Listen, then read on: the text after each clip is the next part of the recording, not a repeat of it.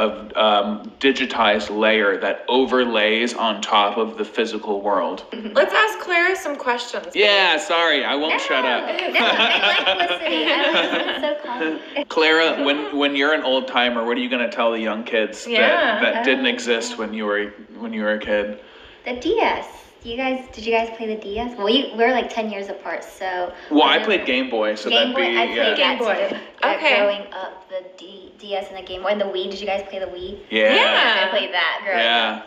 And then like I also had the flip phone. Also, I Okay. had a pink one. You had a pink one? Yeah. Cute. Did anyone have the track and field game where you actually had the pad and you would go like this? No, what? My cousin had it, and I used to go to his house, and I would be like, "Oh my god, it's the best thing ever."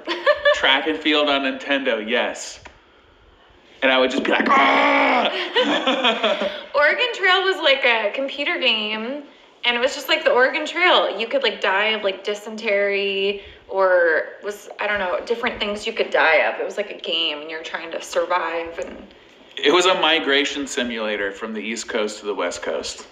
And you would die from, yeah, dysentery, your axle would break, you get bit by snakes. oh yeah, did you play any sports in high school? I did cheer. I don't Oh, know if you were guys did- cheerleader? Yes. What um did you Oh. were you a flyer? Cause you're so yeah, I Yeah, figured. flyer. so you got thrown up in the air a lot.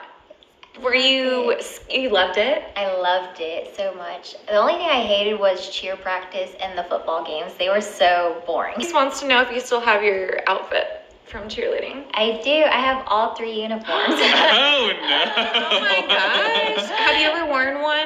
Like your OnlyFans? no, but they all fit me still. You should do it. but People my If it says your school on it, don't Oh, do don't it. do it. okay. Anything spandex is sexy automatically. But like the volleyball shorts are really short. Like they really are for like high school. Like I don't know.